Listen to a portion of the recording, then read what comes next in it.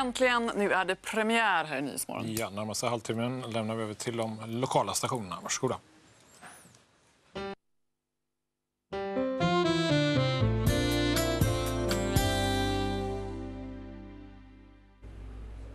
Välkomna till vårt allra första Nyhetsmorgon med lokal-tv. Vi säger god morgon till alla hallänningar och alla skåningar från studion i Malmö.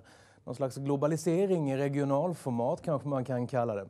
Med oss har vi också min kollega Johan Håkansson, programledare för TV4 Halland, på länk från studion i Halland. God morgon Johan! God morgon Teddy, allt väl med dig? Ja absolut. Hur känns det hos er eh, inför vårt första gemensamma Nyhetsmorgon?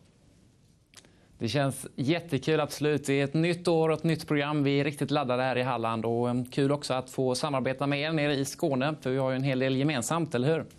Ja, jag kan komma på en del saker. Vad kan du komma på? Vi gillar båda ett eh, gott skratt till exempel. Ja, det ligger en hel del i det onekligen.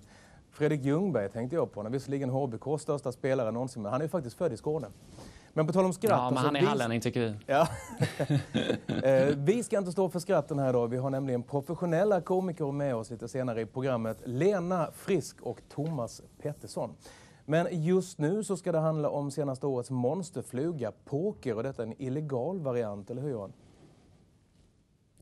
Just det, för intresset för att spela poker har ju vuxit enormt det senaste året. Både när det gäller nätspel och spel i hemmet. Årets julklapp 2005 spåddes bli just en, ett pokerset. Svenska Spel förbereder spel på nätet. Och det är inte bara på internet som det spelas om pengar. Allt fler illegala pokerturneringar poppar upp och vi har träffat en spelare ifrån Halland som arrangerar den här typen av turneringar.